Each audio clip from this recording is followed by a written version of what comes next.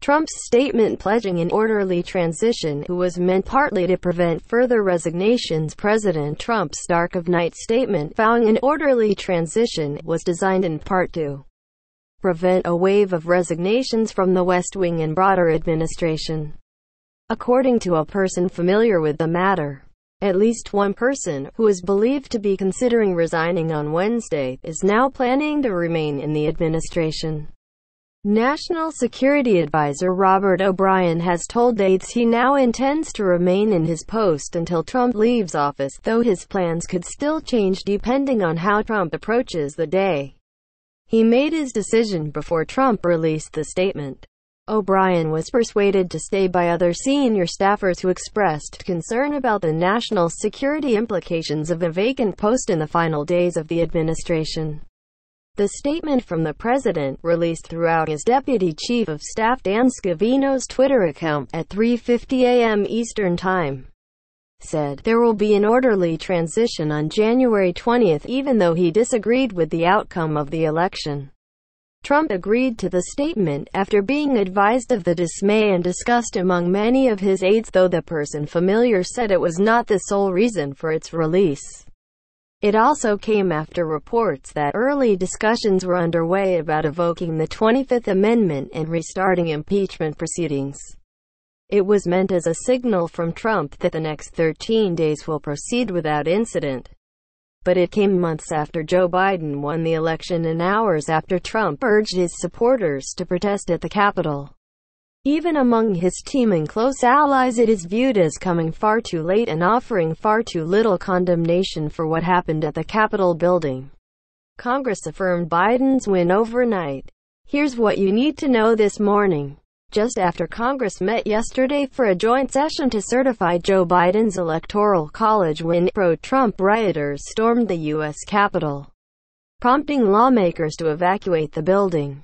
The Capitol was secured later that evening, and Congress returned to resume the certification process, with proceedings stretching into the early hours of this morning. Biden's win certified Congress formally affirmed Biden's 2020 victory just before 4 a.m. Eastern Time. The House and Senate easily defeated Republican objections against the votes sent by two states, Arizona and Pennsylvania.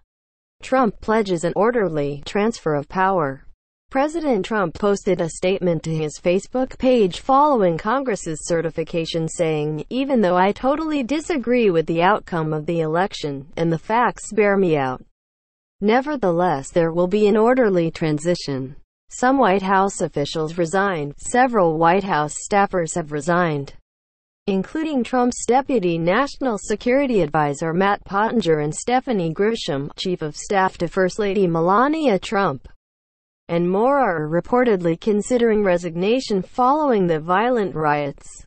Some in the GOP begin considering removing Trump, in addition to expressing obvious horror and anger. A growing number of Republican leaders and cabinet officials have told CNN they believe Trump should be removed from office before Biden's January 20 inauguration, even if it means invoking the 25th Amendment or disqualifying him from ever holding office again. Russian Foreign Ministry reacts to dramatic moment of violence in Washington from CNN's Mary Ilyushina in its first comments on the chaotic events at the U.S. Capitol on Wednesday. The Russian Foreign Ministry said it wishes the friendly people of America to go through this dramatic moment in their own history with dignity. A spokesperson for the ministry criticized the U.S. election system calling it archaic, and claimed it created opportunities for violations. At the same time, we once again point to the fact that the electoral system in the United States is archaic. It does not meet modern democratic standards creating opportunities for numerous violations and the American media have become an instrument of political struggle, spokesperson for the ministry. Maria Zakharova, said as quoted by RIA Novosti.